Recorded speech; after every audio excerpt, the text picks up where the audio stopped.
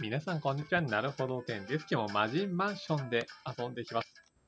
さあ、ステージ5ですかね。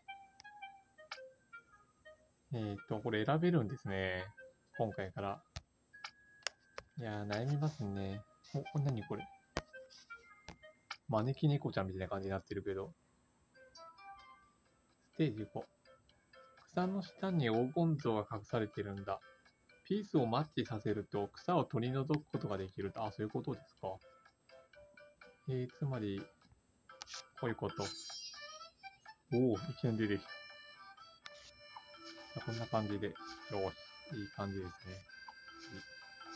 まあ、下から消していくのがセオリーですからね。きっと。きっと。わかんない。おお、すごいすごい。わ、ダイナマイト。6つのピースをマッチすると作ることができる。あ、そうなんですね。で、で、使い方は。あ、これ5個できてる。よし。爆弾もできた。あ、これで、さらに1個下げる。うーん、下げられない。あえてここでダンって爆発させておいて、よし。これでいいでしょう。来ました、来ました。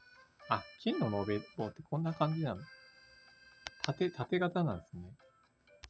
これで出るってことおお出ました、出ました。うん、いいですね。サクサク進んで面白いですね。さあ、あと1個、レインボー。ってことは、帽子を、まあ普通に帽子これで消せるんですけど。余っちゃった、レインボーが。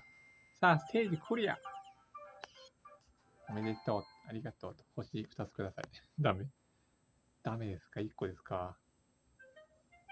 さあ、これで、何しましょう。まあ、ベッドが置きますかね。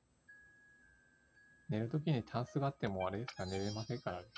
あ、トントン、カンカン。おお。いいですね。あー、魚でいきましょう。猫ちゃんといえば魚です。